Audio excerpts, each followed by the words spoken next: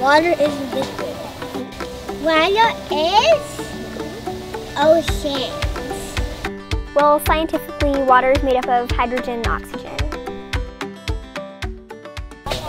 It comes from the natural earth. Um, water towers.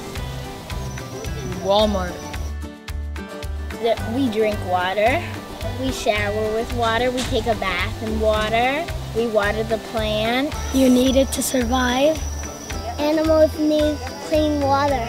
I'd say water is the most important because it holds up all the other living things.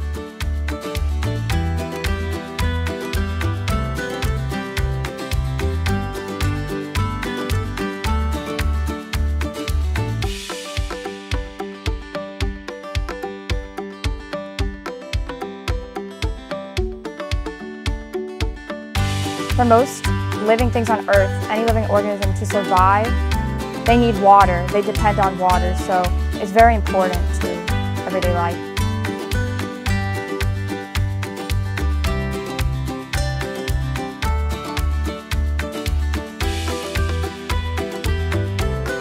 Seventy-five percent of the planet is water.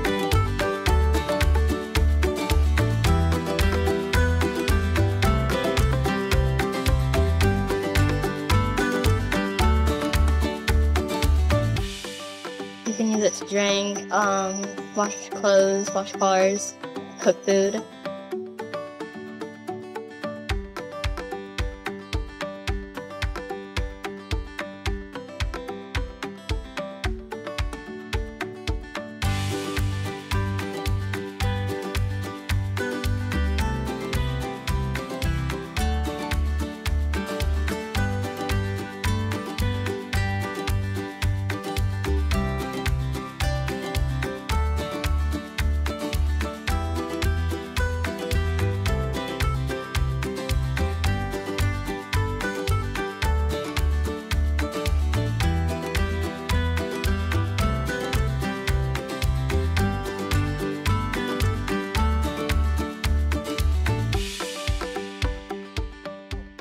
Think the first action would be to um, first to educate the public, starting with kids, because I think if people would realize how much that we depend on water and everything depends on water to live, it would kind of put more importance around preserving water